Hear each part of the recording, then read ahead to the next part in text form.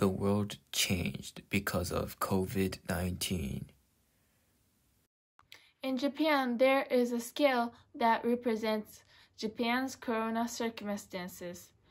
It is divided into four stages and six categories.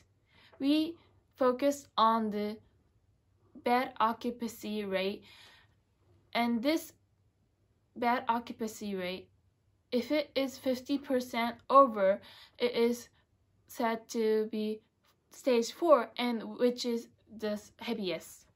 Now, the right now, 8 prefectures meet this number. It is a problem that the beds in the hospital are occupied. Some people might say increasing the numbers of the bed might solve the problem, but it won't, like this chart. Even though if they increase the numbers of the bed, it won't increase the numbers of doctor or the nurses. So the if they increase the number of the bed, the nurses and the doctors have to work more harder. What is more, the nurses or doctors who takes care of the patient who have corona has to clean their room or throw out their trash. Of course, they have to watch their conditions. Why this happens?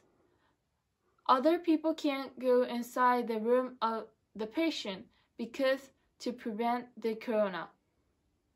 Moreover, in Tokyo, the beds for the patient who have the serious symptoms are occupied over 99.6%. Now, as we mentioned before, the beds are close to full and nurses are working very hard. If they were not here, the COVID situation would have, would have been worse. And so now we'd like to express our appreciation to doctors and um, nurses. Thanks to all doctors, nurses, and all medical workers who lives in risk to help others. You are the real heroes. Thank you for working so hard. We appreciate it. And please don't forget to stay healthy. I would love to appreciate all the contribution you guys made to prevent uh, epidemic of COVID-19 and hope you guys gonna keep doing well.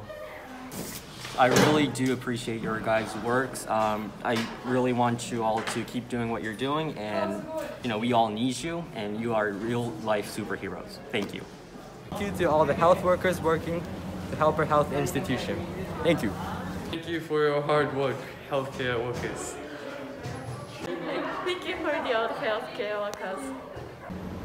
If it were not for you, eh, we wouldn't be here. Thank you. Thanks for your efforts. Thank you for all the medical workers for your hard work to keep us safe. What we have to do is try as hard as we can to not be infected with the coronavirus. So we should do what we can and take measures against the infection. For example, wearing a mask, washing your hands, taking social distance, and often ventilating the room.